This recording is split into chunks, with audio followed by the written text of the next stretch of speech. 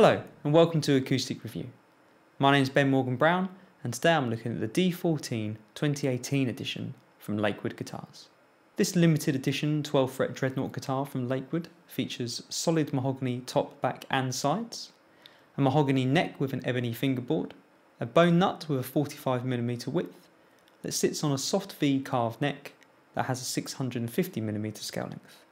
The guitar also has a bone saddle which has a spacing of 57mm, and it ships with a Lakewood branded Hiscox hardcase and has an RRP of £1,630. I've been very impressed by the previous Lakewood guitars that I've reviewed here at Acoustic Review, so let's have a listen to this guitar now and see if it matches up to my expectations.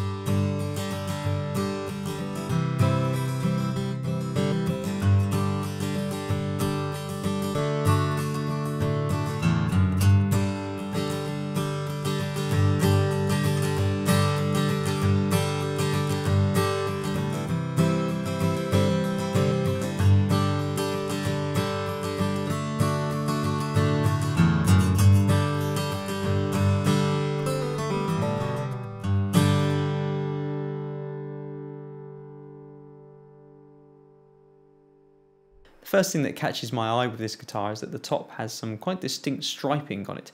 It's quite a striking look actually on an otherwise plain guitar.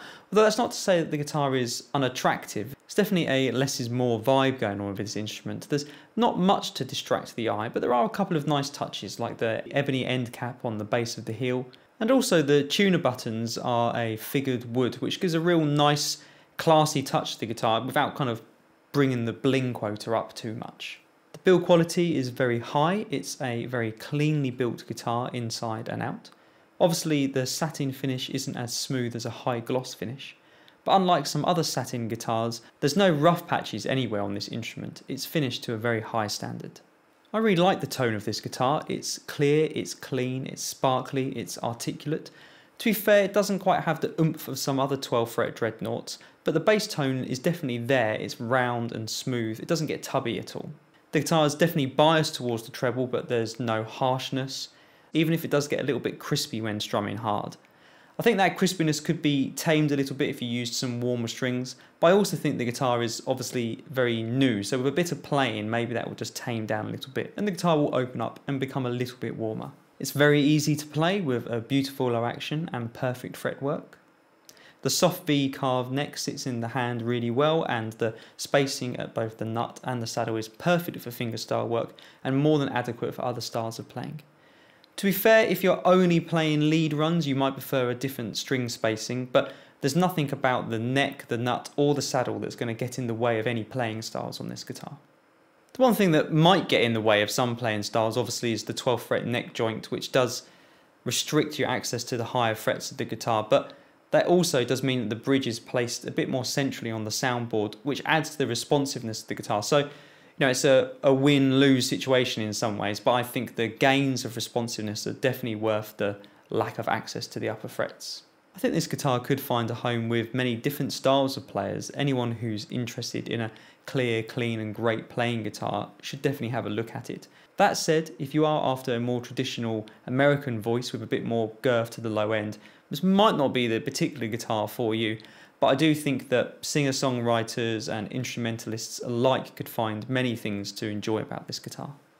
£1,630 for an all solid European made guitar that comes with a high quality Hiscox case seems like a fair price to me, particularly when you look at the quality of the workmanship on this guitar, which really is up there with some of the best that I've seen.